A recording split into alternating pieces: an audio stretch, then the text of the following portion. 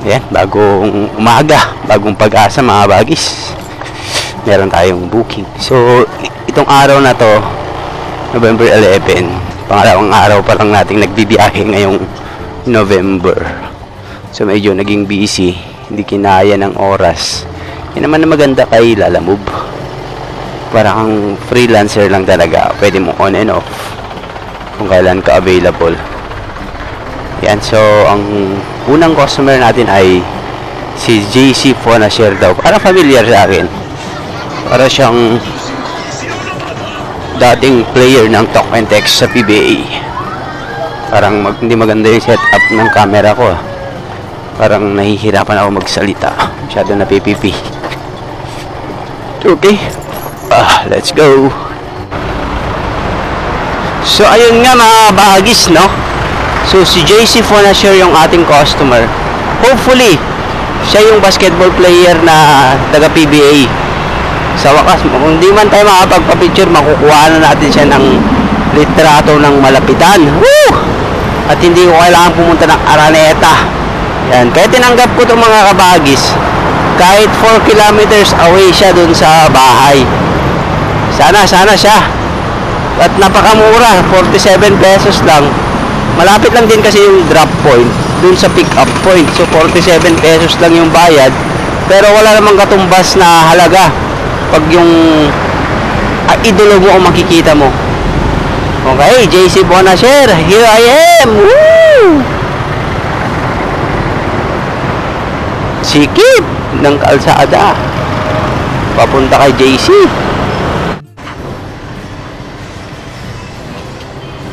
Malapit na tayo. Full name. Dahil wala tayong sticker. Pick up.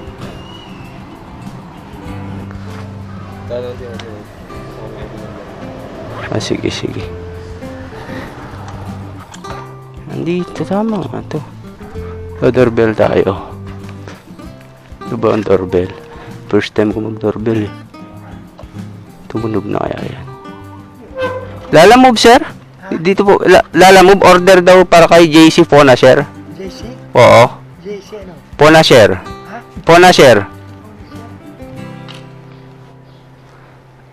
Sabi sa akin, mag 4063 po ito, di po ba? Sabi sa akin, naka-endorse na daw po.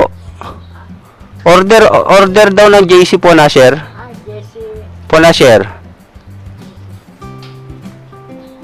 Mukhang dito kaya to. Mukhang hindi pa nila alam mga kabagis eh. Sana naman hindi po wrong pin. Para hindi tayo magsayang ng gasolina. Tapos sabi niya, ito kasi. Oh my God. JC po na share.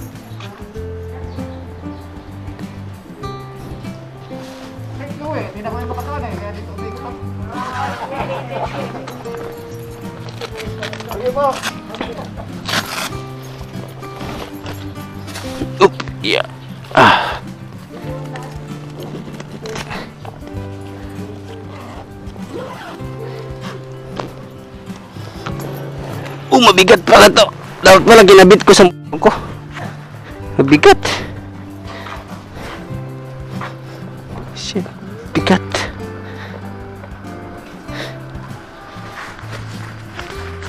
Oh my God. Ang bigat pala nito. Grabe. Bigat. Ah, dapat pa. Yun, bigat. Whew. Yun, kuha natin mga bagis. Yung mabigat nga lang. 4318. Tapos punta na tayo sa sabi niya.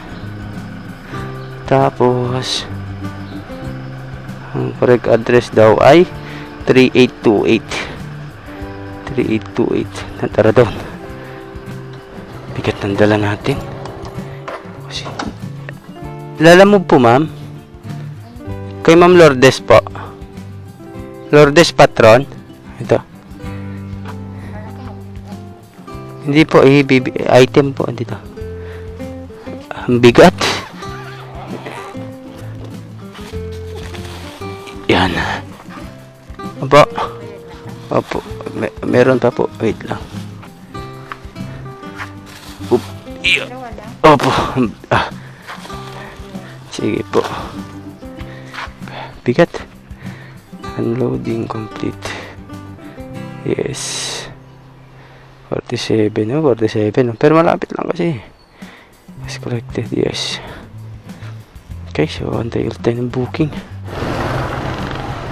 Okay mga ka- kabagis, second customer tayo. Naka first drop na tayo. Malapit lang daw sa Aqua Station. Second customer. Yun, may lalamove sa kabila oh. Tambay, tambay, tambay muna oh. Doorbell tayo. Kuya, balik lang po sa teller. Teller ma'am. Tapos balik lang po dito. Ah, sige po.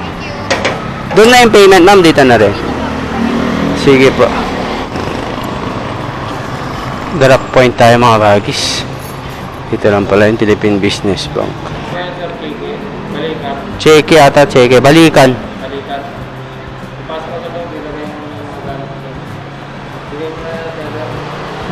Ha? Saan ko lalagay ito? Wait.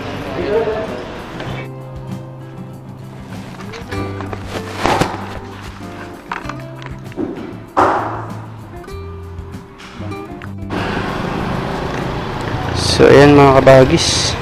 Proceeding to next drop point tayo. Grabe. Magkano to? 10, 20, 30. Ginawa tayong messenger mga kabagis. Magkano to? 10, 20, 30. Cheque. Cheque pa. Cheque pala yung pina-encash sa atin. Risky to. Risky. Shout out kay ma'am. Sana next time inform nyo yung customer. Kaya pala bangko. Pero hindi ako aware na cheque. Nakapangalan sa akin yung cheque. Nakakat... Binigyan ka ng responsibility the same time. Tambay ka kasi bangko yan eh. mag ka eh. Sana... Siguro, ano ako pumasok dyan? Mga alas, alas 10? 10.35 na oh, bago ako nakalabas sa bangko. Sipin mo, 30 minutes ako nagtambay. Nakailang booking na ako noon. Tapos babalik ako doon kasi nga dala ko yung pera. Yun ang risky nito. May hawak akong pera. Ay nako. Ginawa.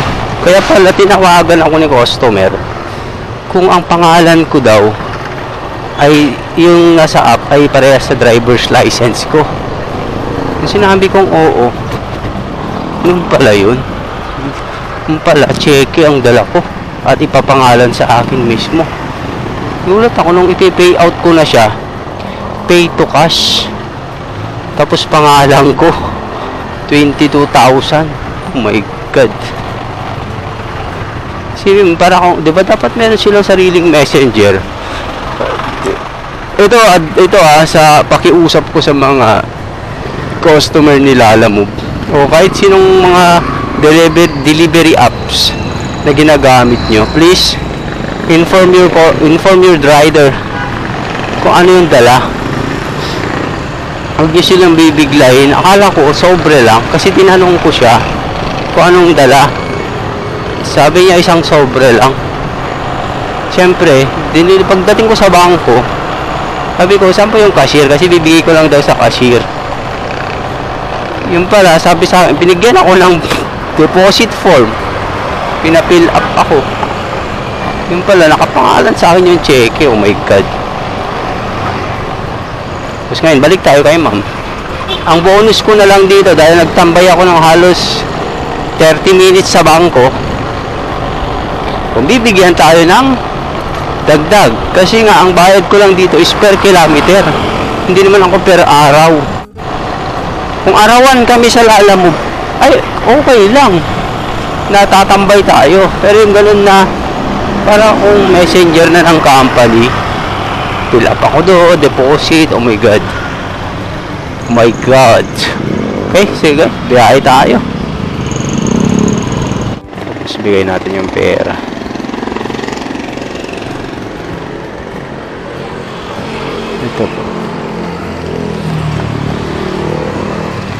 May 30 pa sa loob. Cheque pala to. May, may 30 pa. May coins pa siyang binigay. Encashment po pala yan. Nagulat ako. Pero ayun pala pera. Saan na ba yun? Wait lang. Wait.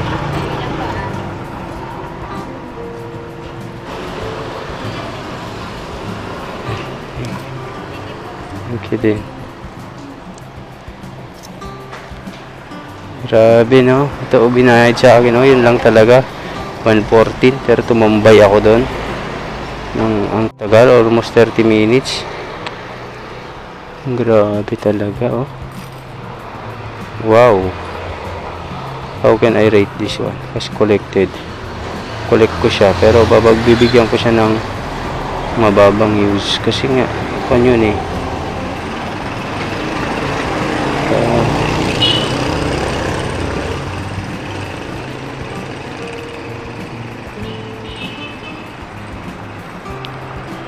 Encashment check. Encashment time consuming for rider.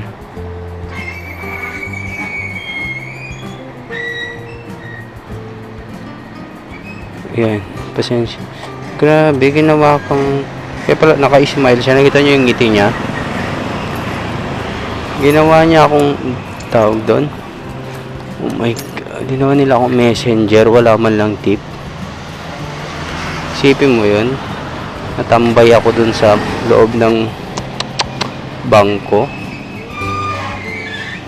Oh my God.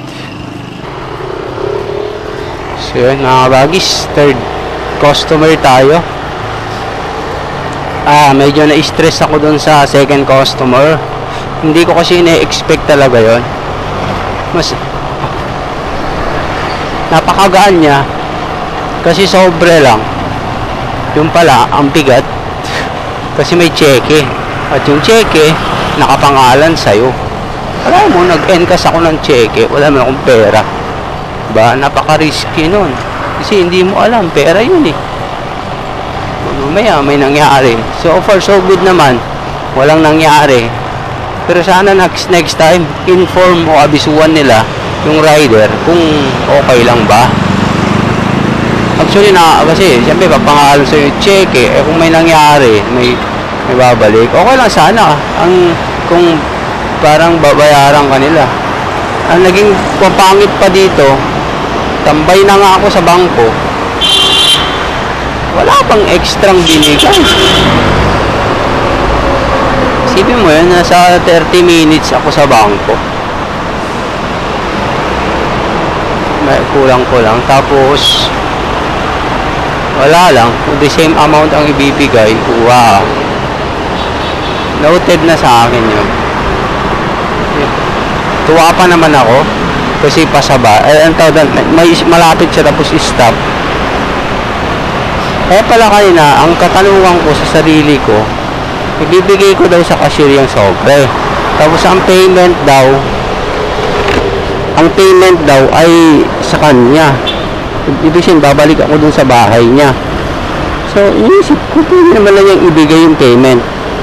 Bakit pinabalik pa ako? Ang nasa isip ko naman talaga is baka pagdating dun sa pupuntahan ko, pagkabigay ko ng sobre, may ibibigay yung pagbibigyan ko ng sobre pabalik.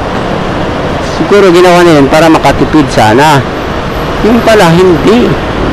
Bangko talaga. Mag-e-encash ako ng cheque. Dala-dala ko yung pera. Babalik sa kanya. Wow. Messenger is life. Yan, messenger nila ako. Private messenger. Wala nang problema eh. Huwag lang ganun. Dito tayo. Dito na tayo. Turn left daw tayo. Turn left.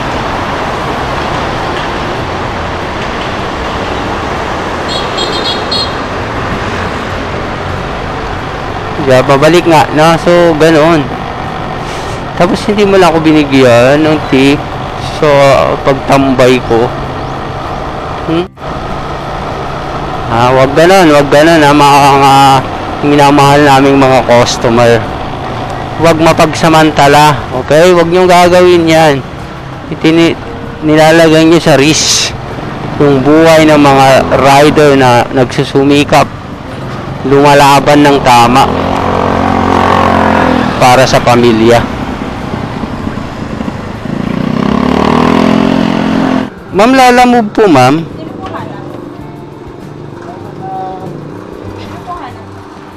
Wait lang. Nag-message na. Alfred, loob po. dito po. Ha? Pwede lang yan, ma'am?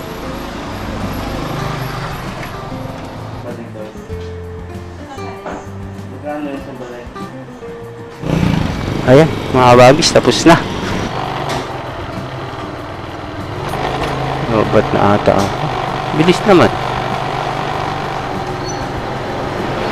Countryside daw. Yan mga bagis na wrong. wrong- Kan, mali pala, countryside. Sa'yo countryside, boss? Unang kanto sa kanan, bandang gitna siya. Ah, okay. Unang kanto sa kanan.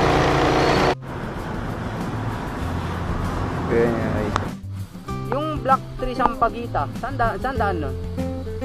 Dito? Pwede dyan? Ah, paas. Black.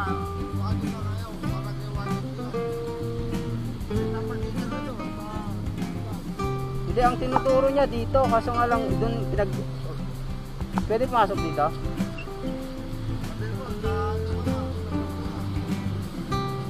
Ah, nasa Sampagitan na po yan? Ah.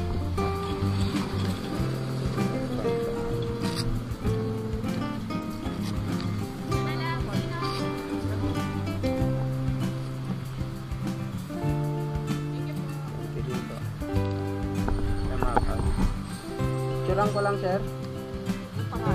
Dominic. Ay, ang nagre-receive. Hindi, nung Miss Maui. Sir Maui, Ah.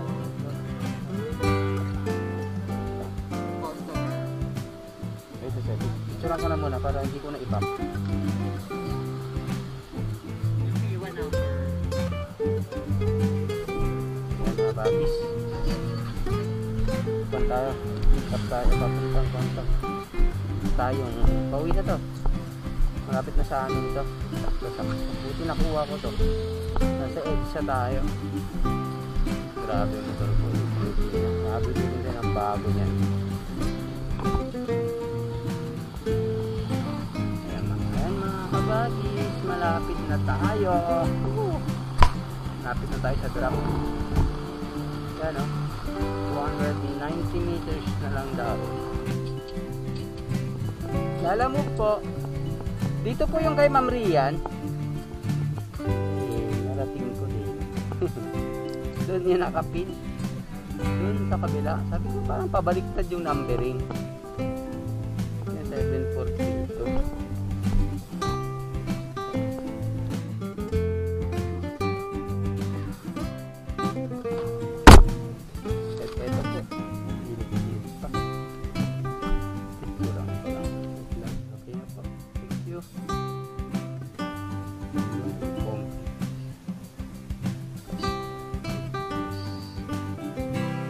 Hanggang dito na lang mga bagis. Maraming salamat sa pagsama. Sa mga hindi pa nakapag-subscribe dyan, baka naman. Okay, until next video. Adios.